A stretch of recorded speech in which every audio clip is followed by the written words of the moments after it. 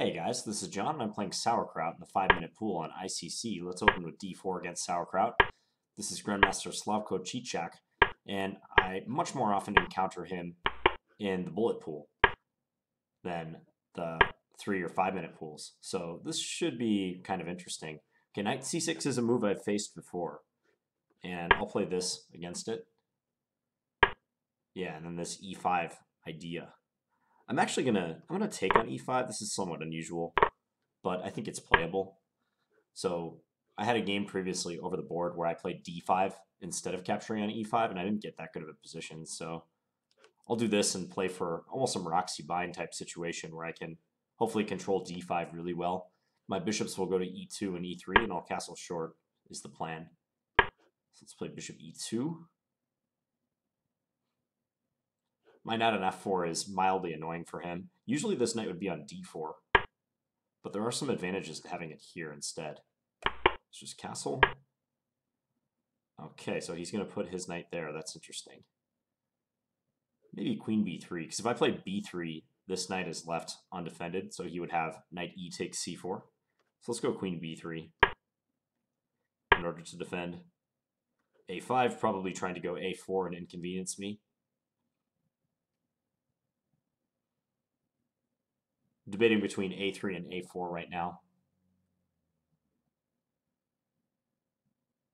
Neither one is that appealing. I might do this, so that after A4 I can play queen here. Back to C2 where it still defends this pawn. A little bit worried about A3 though. He could try this. And then I'd be hesitant to play B3 again because uh, of problems on the diagonal.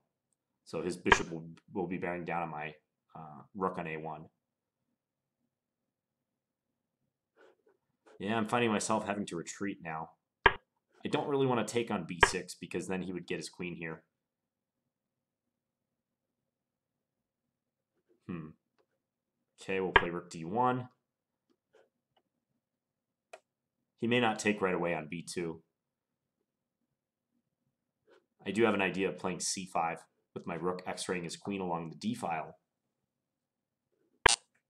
Plays queen c7 to avoid that. He can kind of hold my b pawn hostage for a little bit. I don't really want to play rook b1 because he takes on b2. So what am I to do in this position? I have to get out of the bind.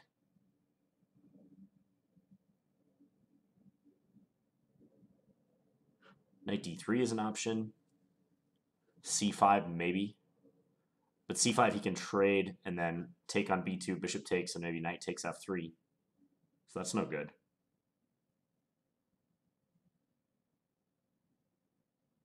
It may be necessary to play rook b1. Rook b1, he takes, I take with my rook. Yeah, knight a4 might be possible then, though. Hmm. This is not a fun position at all. Okay, I'm just going to try to trade some stuff in a bid to relieve the pressure. My knight wasn't doing a whole heck of a lot on f4 anymore. Let's pre-move this.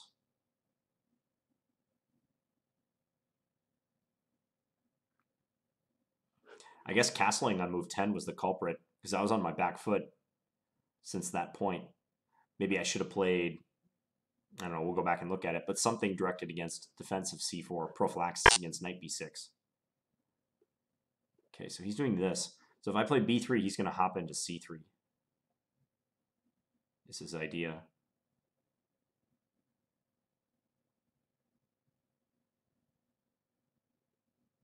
Hmm.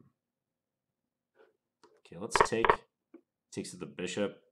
I think I'm going to sack something now.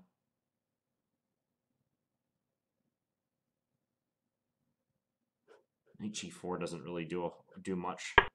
Okay, we're going to do this. And then once he takes on b2, I'm going to take with my bishop. I guess I could play pawn takes and then maybe bishop d2, but that pawn on b2 is really, really strong. So I'd almost rather sack the exchange in a bid for some freedom. This is looking very, very bad, though. Okay, so he takes with his knight.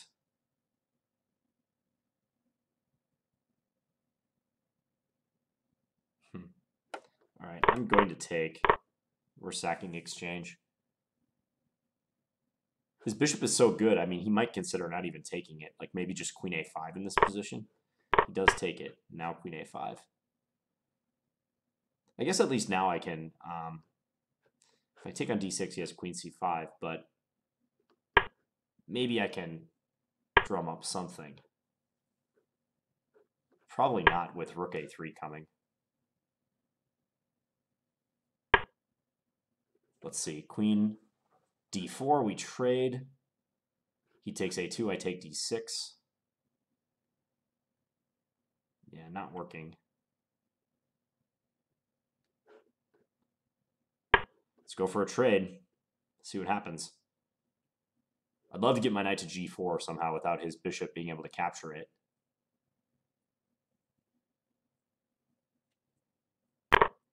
It's going to take a lot of magic being worked in this position. Just b6 is good enough right now. Then he can develop his bishop.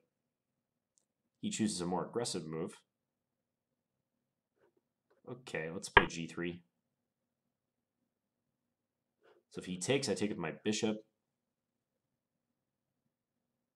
May go f4.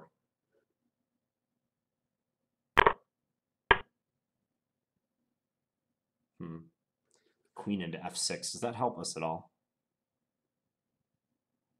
No, but it looks mildly threatening. Got to take what we can get. Queen e5 probably just deals with any threats I have with this move, though. Yeah, queen e5 is a good defense. Hmm, bishop f5. Opting for a more tactical solution. Yeah, that's also good.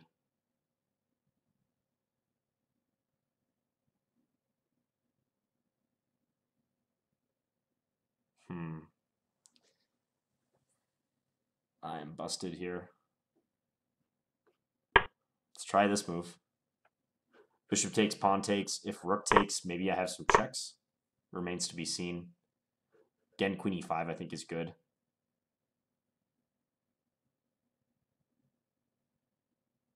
If queen e5, um, I would have to trade queens because otherwise he wins e4, which should win trivially. Check. Got a few checks, but that's check. It. Yeah, and now he's winning e3, so I'll just resign.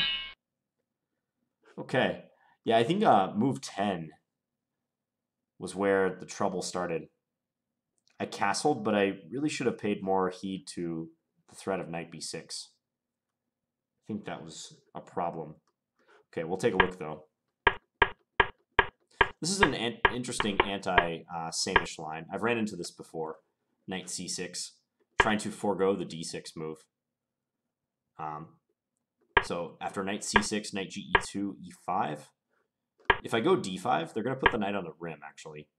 So here to attack c4. And after knight g3, they can play b6, whereupon their knight will always have a retreat square. This is playable for black.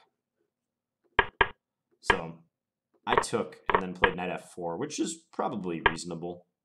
Could play knight d4 too if I want, but d6, bishop e2. Okay, so right here, how to deal with this incoming knight b6 move. If I go here and then knight b6, I have the same issue. If I ever play b3, I Check. hit with this move with a discovered attack on the on the knight. So what about bishop e3 here and now queen b3? That way, if a5, I can perhaps take on b6. My bishop's already on this square compared to the game where it wasn't. This might be the way to go. And then he has weak pawns. That compensates for the missing dark square bishop. Let's have a look and see what the engine thinks. Hmm. Doesn't think castles is that bad, but yeah, bishop e3 is the stronger move. That's a more sophisticated measure. So castles, knight b6, queen b3, a5. Yeah, he, he definitely got the initiative. a5 is a very good move. Because I was hesitant to play both a4 and a3. a4 severely weakens the b4 square. So I thought he would start angling for that, like maybe even knight c6. I considered like trying to work into one of these two. Um, a3, I didn't like the fact that he can play a4, and I have to go back to a2 with my queen. And it's stuck guarding a uh, guarding c4, and it's out of play on a2. Um, and again, I have some weak squares, like maybe this knight c6 move once again, trying to get into d4. So I think the engine's evaluation of castles is a little flawed. I bet if you give it longer to think, that will go down. Because it just doesn't look like I have that good of a position after knight b6. I definitely don't think I'm better. So, yeah, I mean, it starts to go down a little bit. So in retrospect, I would definitely play knight, uh, bishop e3. Looks like strong play by him after this. Queen c2, c6. And if I if I capture, he takes Check. the queen. This is already very juicy for him. I have development problems. I'm weak on my dark squares. A3 is on the horizon. So hence I played this um, sort of awkward move, knight e3. Now a3. Yeah, and I can't ever really do this because Check. knight takes f3 and bishop takes a1. That's my big problem in this position.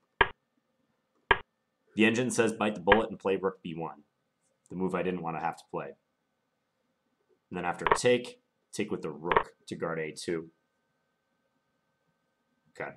Yeah, and I was looking at stuff like this, and if I go back here, knight c3 is already crushing.